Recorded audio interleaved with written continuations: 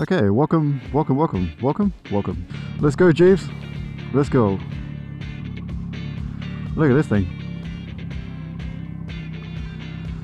Very, very nice. Very nice. Right, while we wait for the traffic to pass, welcome to the Throttle Tube. What's up, team? The usual stuff.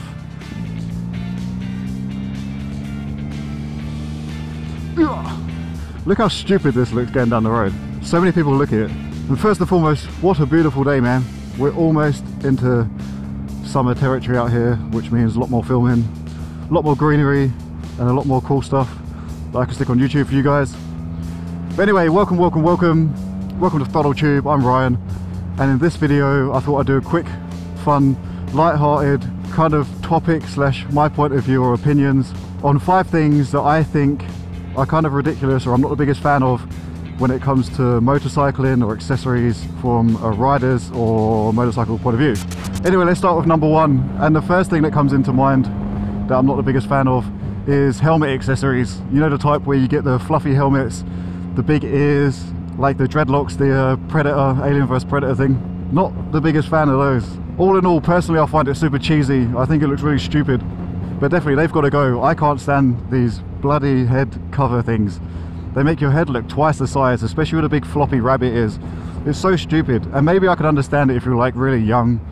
I get it. But I saw or have seen a couple of people that are probably a little bit older than me and we're talking mid-30s territory up and I'm not trying to take away from the fact that you can't have fun but it just looks so stupid when a grown man takes a helmet off with his floppy ears and here's a point if anyone knows from experience when you go quite fast with these uh, helmet covers do they tend to peel back or anything like that because I can imagine if you go fast enough, surely the gaps will open and it will just peel off the top of your head. Or imagine an accident or doing the opposite or pulling down and you can't see. I don't know, I just think from a safety point of view as well, you shouldn't stick anything onto your helmet. Right, rolling on, rolling, get it? We're on a bike. That's a terrible joke. But anyway, rolling on to number two, I'm gonna go with cheap eBay exhausts or fake exhausts. I can't stand them and I get that some of you guys who do have them or if you do have them yourself might be on a budget but just don't do it. Stick to stock. Engineers have spent countless hours and countless amounts of money to perfect these machines. And you're going to stick a piece of tin from Malaysia or something on the side that hasn't been engineered to spec to fit nicely. Sound hasn't been factored in.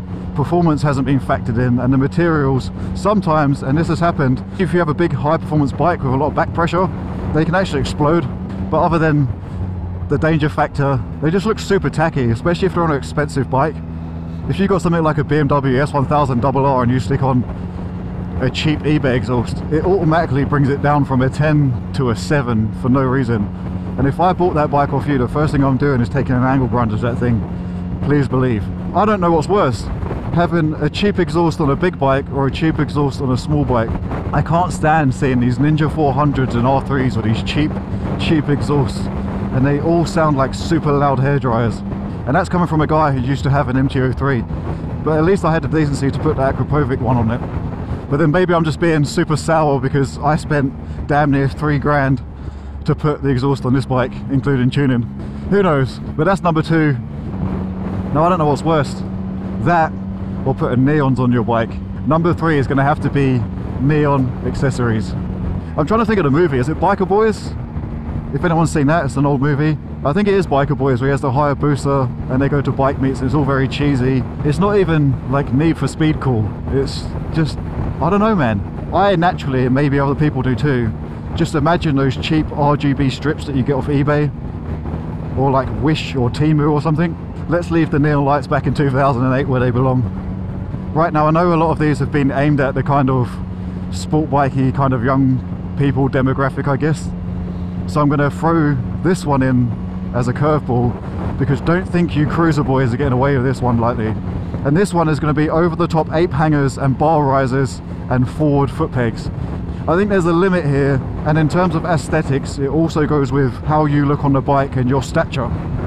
If you're a bigger guy, I think ape hangers and taller risers tend to look better. If you're really scrawny and half the size of your bike, it tends to look like you're hanging onto some sort of torture device and that's where when they get to a point where it gets too far or your legs get put too far forwards and once you stretch those bars to a point where it goes beyond ridiculous and your feet go so far forward to the point where you're starfishing down the road, looking like a newborn looking for a feed. It gets to a point where you are literally a floating starfish flying down the road. And how do you even go around corners on those things? And I know from riding plenty of Harleys with risers, the higher you go with them, the less you have to emphasize to get the bike to tip over. So at what point do you barely touch it and the bike just tips over and scrapes the sides? So yeah, sorry cruiser boys and cruiser dads, I couldn't leave you out. And what better way to end it than on number five, homemade wrap jobs. Now I tell you what, I'll add a caveat and let it slide if you've done a home wrap job and it actually looks really good. If you've done a home wrap job and it looks mint, you get a pass. Luckily you can go sit over that side. You're clear on this video. But I'm talking about the ones that do home wrap jobs that have a bunch of creases and more bubbles than the Powerpuff Girls. At what point do you not just go, do you know what, let's just peel this off and either start again, go back to the drawing board, pay a professional because I saw an R3 yesterday which was wrapped and it looked ridiculous because of these creases. And don't get me wrong, it was a good 15 feeter, like you could stand back maybe two car lengths, it looked okay. But as you got closer, it kind of looked like the bike had already been crashed, which made me ask, have you crashed a bike? And he laughed and said, no, what makes you think of that? That wrap job.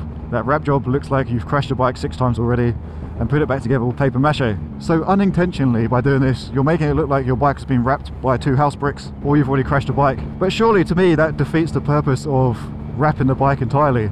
If you're going to wrap it to make it look worse in the first place, what was the point of wrapping it in general? But hey, what do I know? I might be missing out here. Maybe I should go out and get a pink fluorescent helmet, put some bunny ears on it, chop off my exhaust, stick a soda can on it, lift these handlebars up here and stick some LEDs on this bike and I'll see what all the fuss is about. And I'm sure plenty of people would pay to see that and I'm telling you now that is never ever going to happen. Well team there you have it. That is five added accessories or modifications that I'm not the biggest fan of.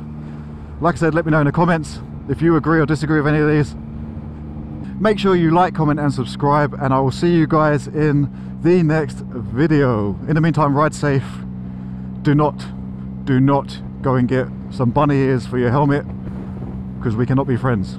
Just joking, of course. Stay safe. See you guys in the next one.